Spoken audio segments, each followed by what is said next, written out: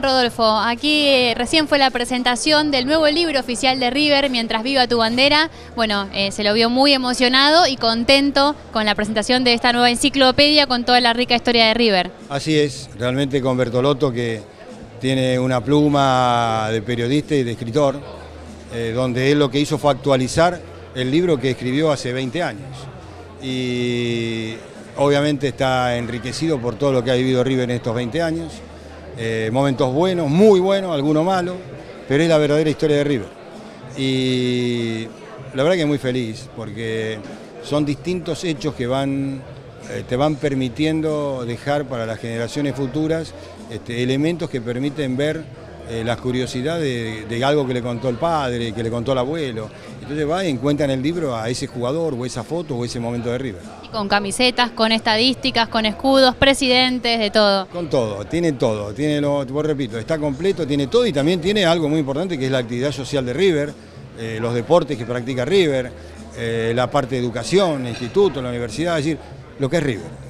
Recién mencionaba que lo estuvo viendo en, un viaje tranquilo. ¿Qué puede destacar del libro? ¿Qué fue lo que, lo que más le gustó? ¿Algo que le haya quedado grabado, en especial alguna, alguna imagen, algún capítulo? Mira, la verdad que cuando vos mirás el libro, primero se te hincha el corazón así de grande, porque ves la foto en blanco y negro, ves las fotos que de alguna manera, pese a las canas mías, algunas yo no los vi, me la contaba mi viejo o cuando yo era chiquito y mi padre me traía y me acordaba de algún hecho, de alguna foto de algún partido donde aparece Amadeo, donde, eh, qué sé yo, tantos momentos, tantas situaciones, pero claro, a veces uno tiene una memoria selectiva que tiene que ver con por ahí lo, último.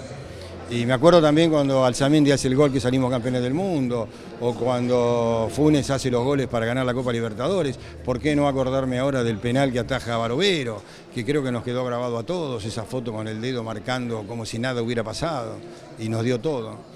Bueno, y todos los chicos ganaron todo. La verdad que eh, acá estoy charlando con vos y veo una de las fotos que me emociona, que es la de River campeón de América, que bajo una lluvia como la de hoy.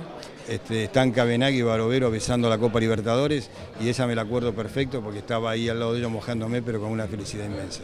Bueno y por último también con la presencia y el acompañamiento de las glorias del club, con, Amadeo, nuestro presidente honorario, que es gloria, gloria vivente de, nuestra institución. Así es, estaba Amadeo, estaba Roberto Cívica, Alberto Alonso, eh, estaba infinidad de jugadores, estaba Pero González, eh, Pinino. Bruno que hizo el gol de los 18 años. ¿eh? Pinino más también. Estaba Pinino, quien, digo, una cantidad enorme de jugadores que justamente los tenía anotados y los armé como un equipo. Estaba Gordillo, campeón del mundo. Es decir, la verdad que representa un pedacito de lo que es la historia que está en el libro. Como le preguntamos a Miguel, le queremos preguntar a usted, ¿por qué le diría al hincha de River que tiene que, comprar este libro, el libro oficial del, más grande? Mira, comprarlo porque de alguna manera vas a encontrar ahí la historia del club que más amás. Vas a encontrar páginas de cuando se fundó el club, páginas de cuando jugábamos en forma amateur, páginas donde River salió campeón durante cinco años, un año no, y después salió campeón cinco años seguidos dos y tres, eh, otra vez después tres, tres más, es decir, toda la gloria de River está ahí y yo creo que vale la pena tenerlo, inclusive para consulta. De golpe te pasa, que te preguntan y, vos tenés la duda, vas ahí, ahí lo Enciclopedia. Es la enciclopedia de River, exactamente. Muchísimas gracias. No, al contrario, gracias a ustedes.